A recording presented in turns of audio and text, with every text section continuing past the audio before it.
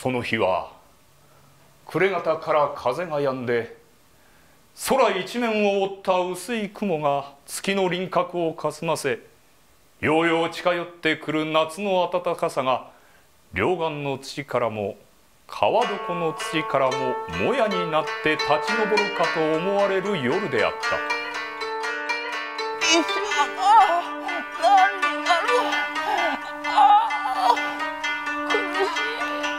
ぐっと引きました。その時表口の戸を開けて近所のばあさんが入ってきました。もううちの中は暗くなっておりました。私にはばあさんがどれだけのことを見たのだか分かりませんでしたがばあさんはギャー。あの扇の真ん中いて敵に見物せさせよかし。鎌倉へ帰らるべし。南無八幡大菩薩。よっぴいてひょうと放つ。極楽。立派な大養生であった。南無阿弥陀仏南無阿弥陀仏。くど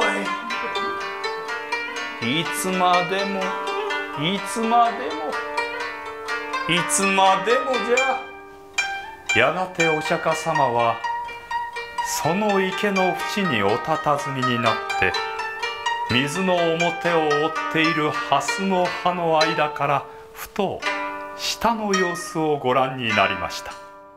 極楽の雲が一匹美しい銀色の糸をかけております。神田田でございます。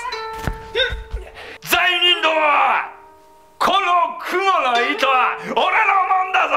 俺は俺は